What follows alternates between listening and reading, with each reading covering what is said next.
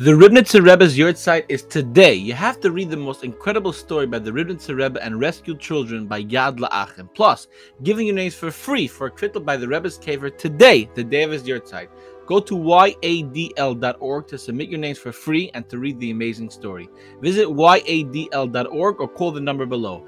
Join the thousands of Yidden who've already had the Yeshuas by the Rebbe's kever, and it's free to submit names. yadl.org and may all your tefillahs be answered.